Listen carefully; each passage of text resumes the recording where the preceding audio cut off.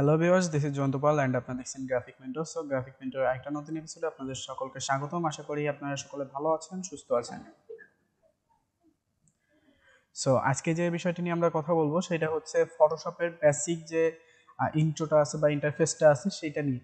So আমরা চলে যাই ফটোশপে ফটোশপে যাওয়ার পর দেখেন, আপনাদের ফটোশপটা বেসিক্যালি এই টাইপের আসবে। আমি Photoshop twenty twenty one use করতেছি। সো এটার ইন্টারফেসটা এই টাইপের সো আপনারা যদি ওল্ডেস্ট কোনো ভার্সন ইউজ করেন বা যদি আপডেট কোনো ভার্সন ইউজ করেন সো অলমোস্ট সব ফিচার্সগুলোই সেম বাট এইখানে আমরা মেইনলি আজকে চারটা টপিক নিয়ে কথা বলব। Menu bar toolbar control panel এবং হচ্ছে আমাদের যে ম্যানেজমেন্ট বা অ্যাডজাস্টমেন্ট প্যানেলটা আছে সেটা সো ফার্স্টেই আপনারা একটু লক্ষ্য করলে দেখতে পারবেন, এইখানটায় আমাদের কতগুলো অপশন দেওয়া আছে। এইগুলোকে বলা হচ্ছে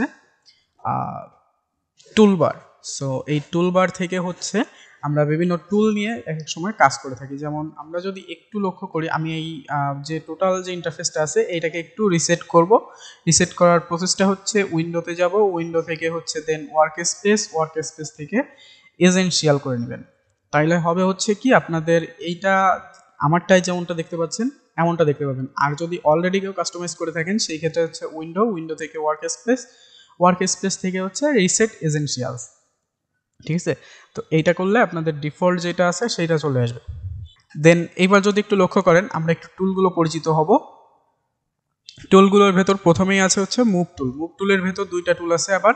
একটা আছে মুভ টুল আর একটা আছে আর্টবোর্ড টুল সো আর্টবোর্ডটা কোনটা? আমরা এই যে যে সাদা ক্যানভাসটা দেখতে পাচ্ছি, এটা হচ্ছে আমাদের আর্টবোর্ড সো এইটা হচ্ছে আমরা দ্বিতীয় টুলটায় যদি যাই, এই আর্টবোর্ডটাকে আমরা কাস্টমাইজ করতে পারব বা নতুন আর্টবোর্ড নিতে পারব। সো উপরে যে টুলটা আছে, সেটা হচ্ছে মুভ টুল অর্থাৎ কোনো অবজেক্টকে আমরা মুভ করতে এই টুলটা ব্যবহার করি। এরপরে হচ্ছে ল্যাসো টুল যেটা সাব টুল আছে কতগুলো আবার? রেক্ট্যাঙ্গেল ল্যাসো টুল আছে মার্কি টুল আছে, এরপরে হচ্ছে ইলিপস মার্কি টুল আছে। সো এইভাবে কতগুলো মার্কি টুল আছে? এরপরে হচ্ছে ল্যাসো টুল ল্যাসো টুলে আবার তিনটা ভাগ ভাগ আছে। একটা হচ্ছে lasso tool just simple lasso tool একটা হচ্ছে পলিগন ল্যাসো টুল আরেকটা হচ্ছে ম্যাগনেটিক ল্যাসো টুল সো এইখান থেকে ল্যাসো টুলের ব্যবহার যদি কখনো করা হয়, অধিকাংশ ক্ষেত্রেই হচ্ছে ম্যাজিক ল্যাসো টুলটার ব্যবহার করা হয় ব্যাকগ্রাউন্ড সিলেকশনের ক্ষেত্রে।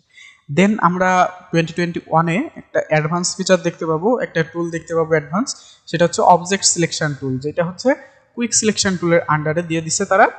এইটা হচ্ছে যে কোনো অবজেক্ট খুব সহজেই জাস্ট সিঙ্গেল ক্লিকের মাধ্যমে হচ্ছে সিলেক্ট করা যায়। দেন ক্রপ টুল আছে সো এইভাবে অনেকগুলো টুল আছে। দেখেন, একটা বিষয় আপনাদের একটু জানাই রাখি যে কোনো টুলের ওপর দেখেন, যখন আমি মাউস কার্সারটা নিচ্ছি, তখন কিন্তু সেই টুলের নাম লেখা আসতেছে সেই টুলটা কীভাবে কাজ করে, ছোট্ট একটা টিউটোরিয়াল ভিডিও আসতেছে।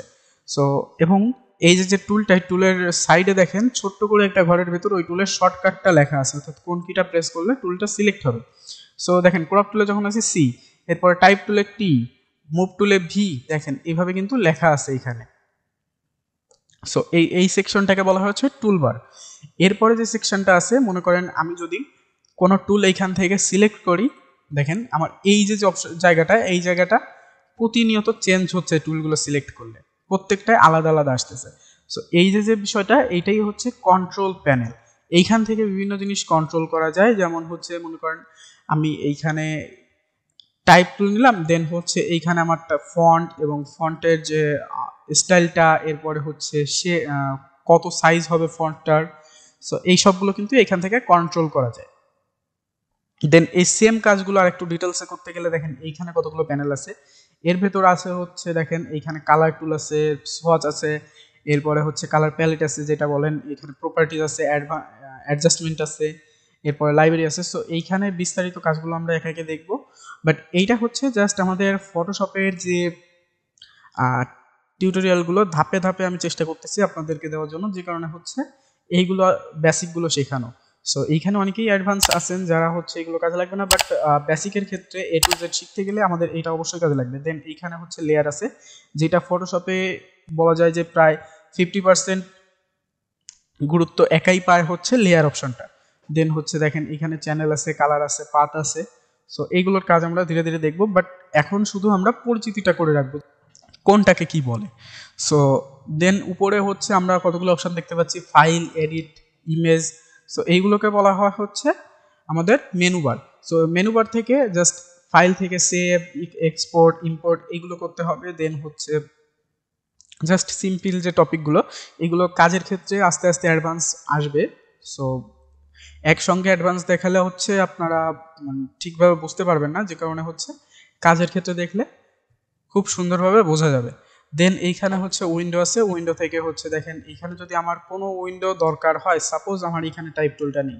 সো আমি টাইপ টুলটা আনব। দেন টাইপ টুলের নাম হচ্ছে ক্যারেক্টার দেন হচ্ছে আমি ক্যারেক্টারে ক্লিক করবেন, করলাম, দেখেন এখানে কিন্তু ক্যারেক্টার টুল বা টাইপ টুল যেটাই বলেন, সেটা কিন্তু একটা মেনু বার চলে আসছে। সো এইখানে হচ্ছে আমরা এই বিষয়টা করতে পারি। সো আজকের ভিডিওটা এই পর্যন্তই। আশা করি ফটোশপের যে বেসিক ইন্টারফেসটা আছে, সেইটা সম্পর্কে একটা মোটামুটি ধারণা দিতে পারছি। এবং ভিডিওটা আপনাদের একটু হলেও কাজে লাগবে। সো একটা লাইক করে দিবেন দেন হচ্ছে চ্যানেলে সাবস্ক্রাইব তো মাস্ট ওকে সো দেখা হবে নেক্সট কোনো ভিডিওতে সে পর্যন্ত ভালো থাকবেন, সুস্থ থাকবেন।